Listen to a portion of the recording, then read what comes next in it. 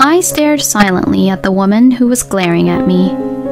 I don't know the details of what happened in her and her husband's past, and I don't think I need to know. From her point of view, I may be someone she hates, but my husband's wife is me, and I have nothing to be ashamed of.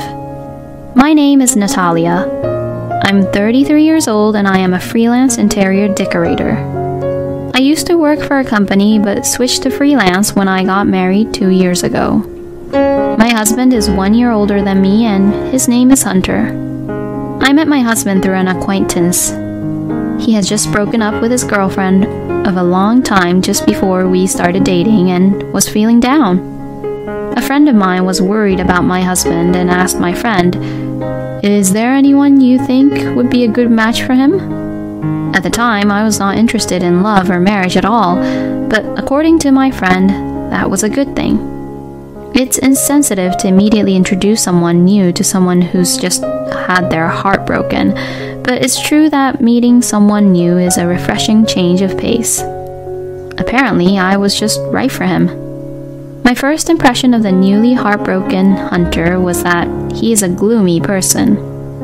No matter how much I talked to him, he never responded softly or smiled, and I thought I would never see him again.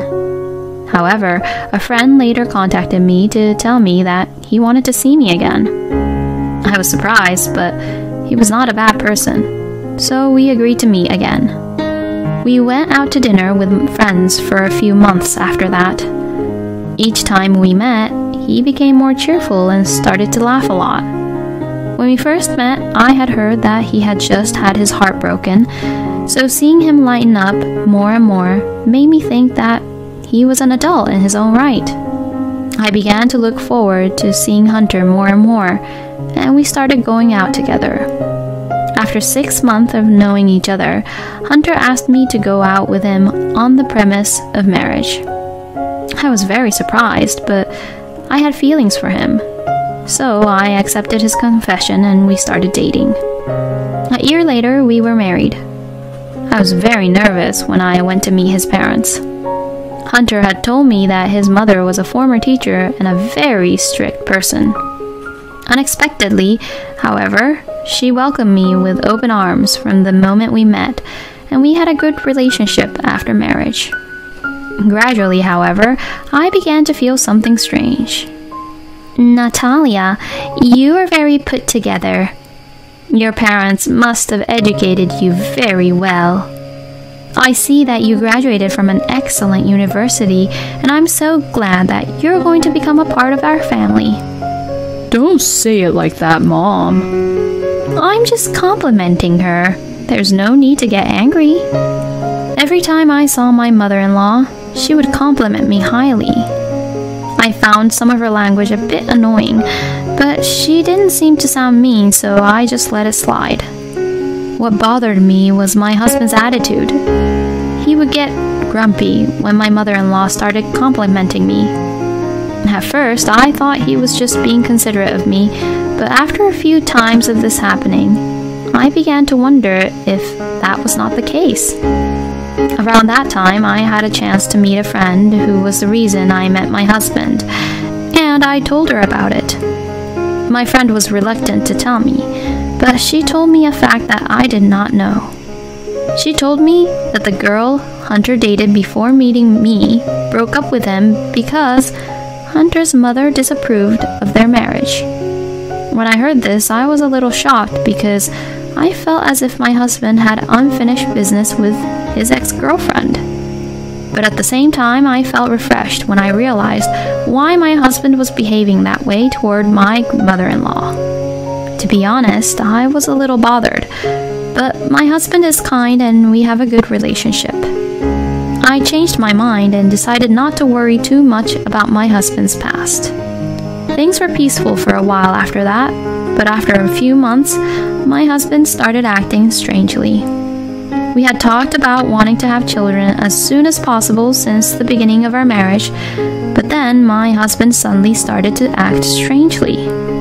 We can wait a little before we have kids. There's no need to rush, he suddenly said. Why? I thought you wanted kids as soon as possible.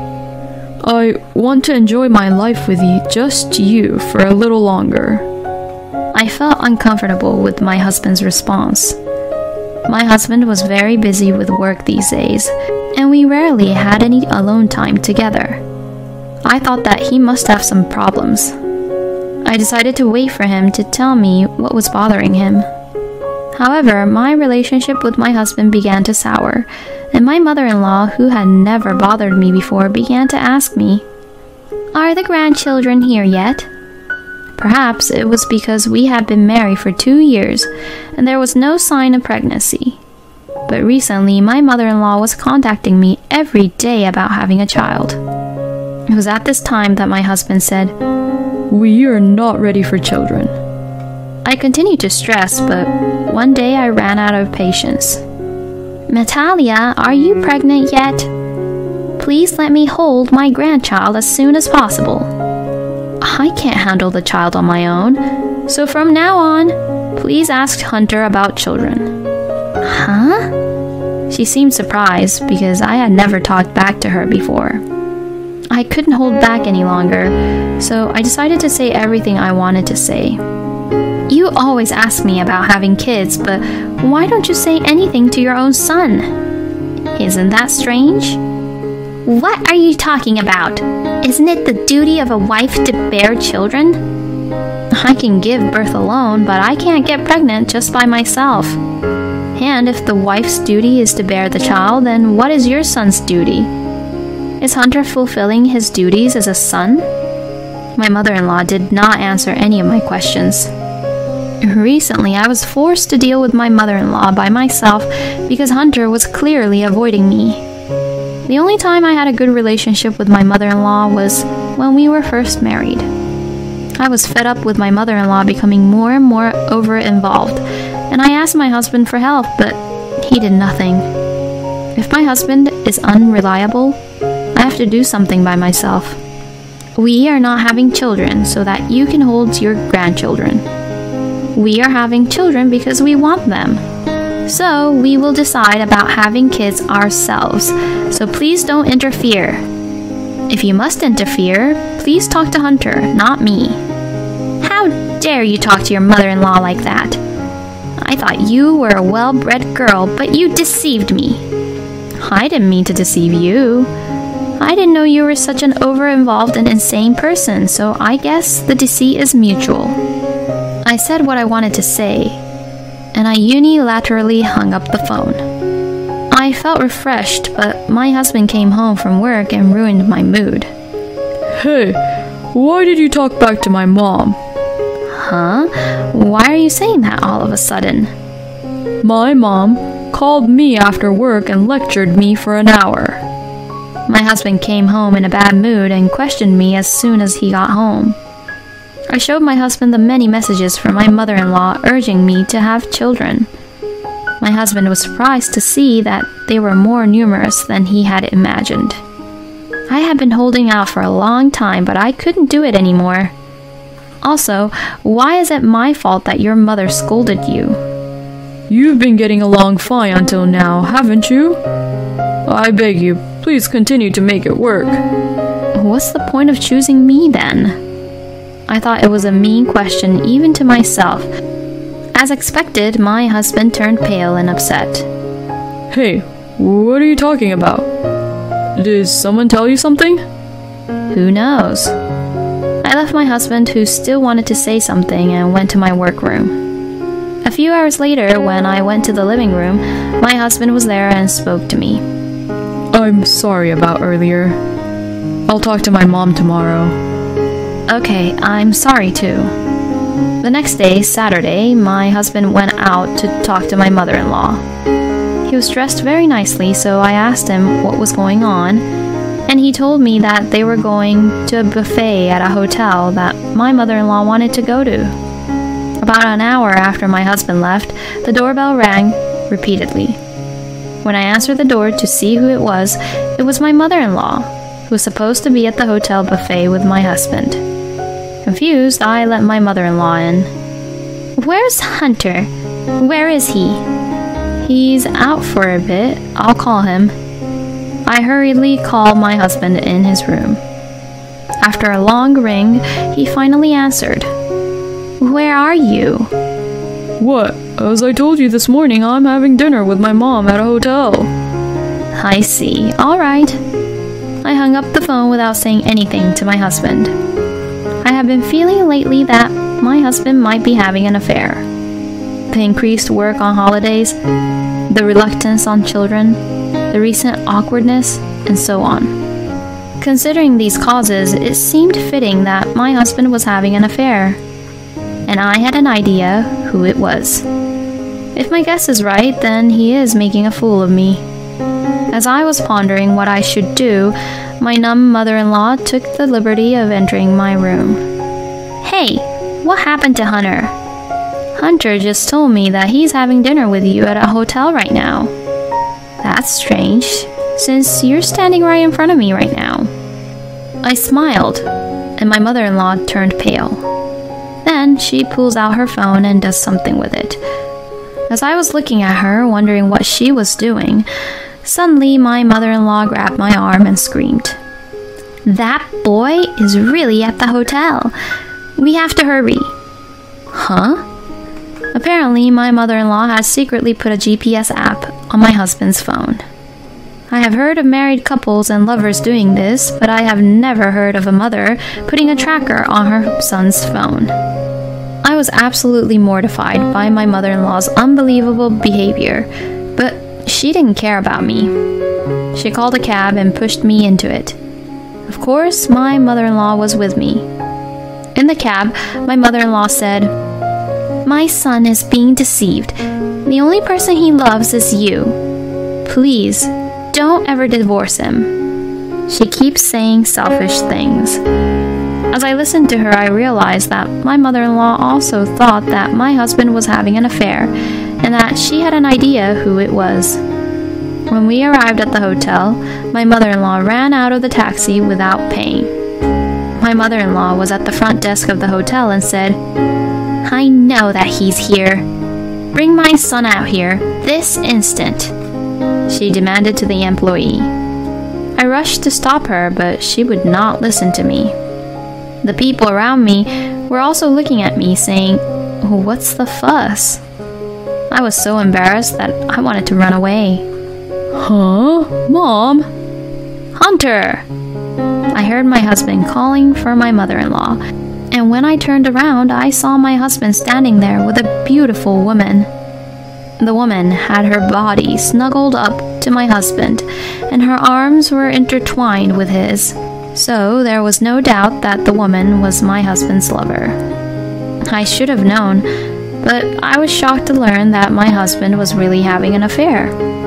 Unlike me, who was standing there unable to move, my mother in law jumped on the woman next to my husband.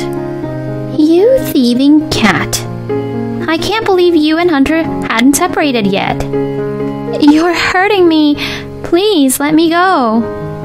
Mom, what are you doing? The scene instantly turned into chaos.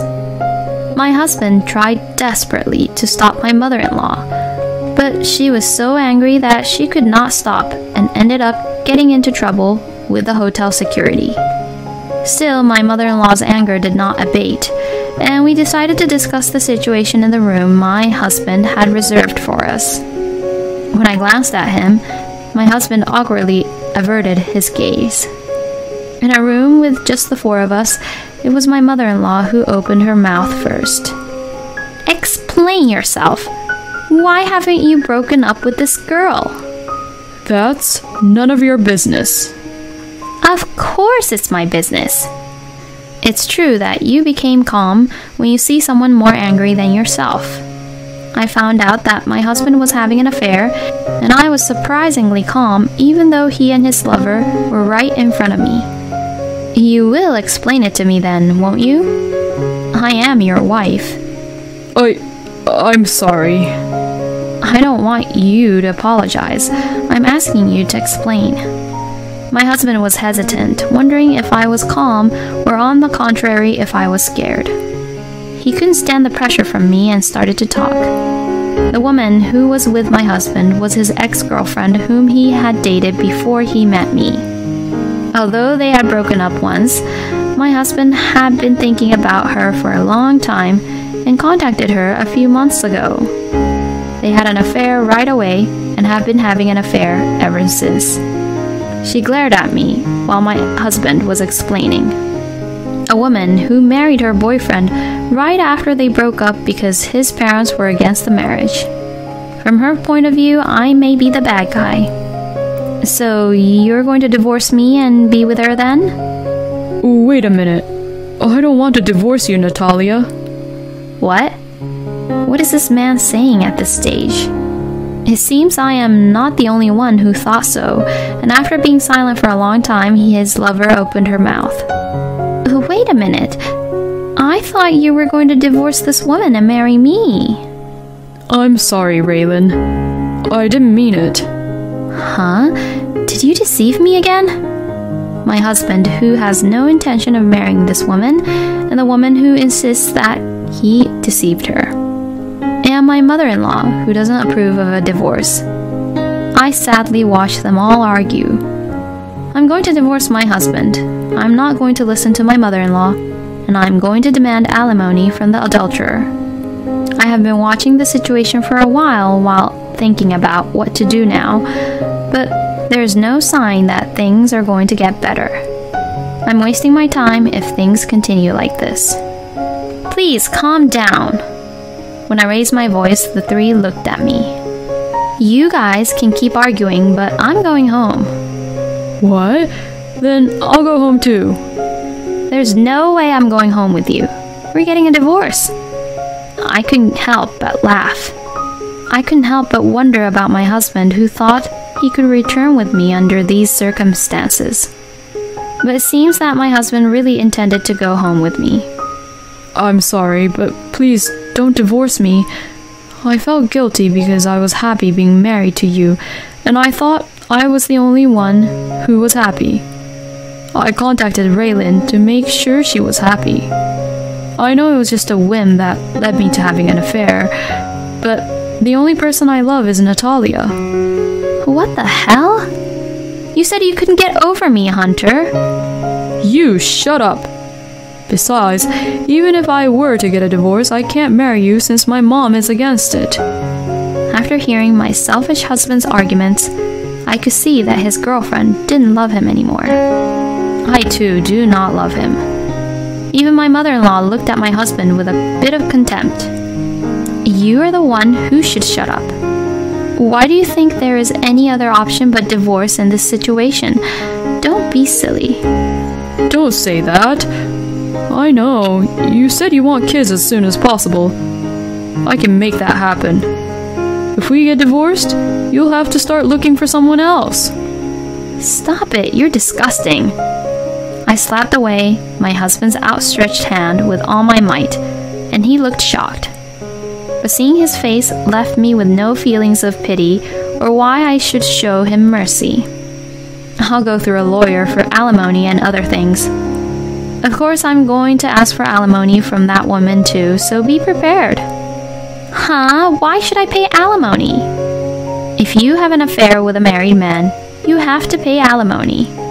If you don't agree, why don't you hire a lawyer too? It'll be a waste of money though. Then I left the scene. The ex girlfriend with whom my husband was having an affair with was dating my husband from the age of 23 to 30. I felt a little sympathy for her because they had been together for a long time, but my mother in law opposed their marriage and broke it off. So I thought that after the divorce from my husband was finalized, she could remarry or do whatever she wanted. However, when I was discussing my divorce with my husband, a shocking revelation came to me. To my surprise, the adulterous partner had a fiance. The fiance found out about the affair and broke off the engagement, but my husband did not know about it until the fiance asked for alimony. At first, out of guilt, my husband was willing to shoulder the alimony that I had charged his lover. However, when my husband found out that she was engaged, he refused to help her. In the end, after much wrangling, it was settled that each of them would pay the alimony claimed against them. and finally, our divorce was finalized.